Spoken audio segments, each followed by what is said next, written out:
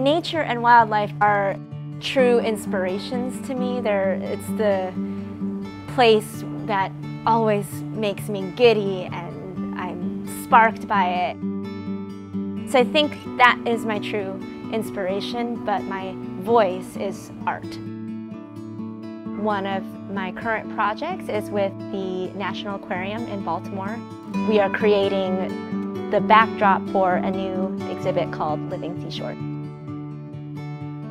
As an artist, one of the things that connects me to animals and what I do is, is rendering each one and taking care to recreate this. And that whole process of making it from start to finish helps me build a stronger connection to the animal.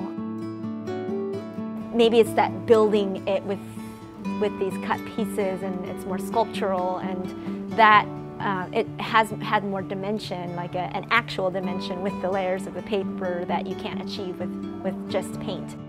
It'll um, be special and unique from what might typically be out there. And I think that's something that this exhibit has focused on a lot is, is finding different ways to connect people and doing something a little bit more unique.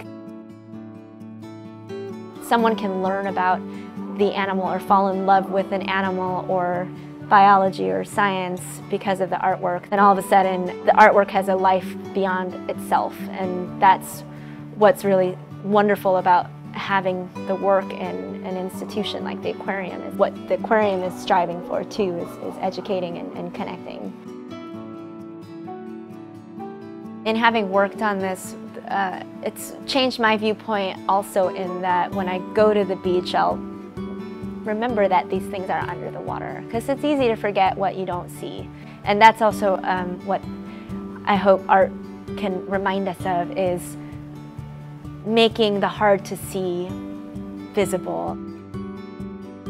What's so special about animals in general is that they're not just everywhere at all times. It's special when you get to see this.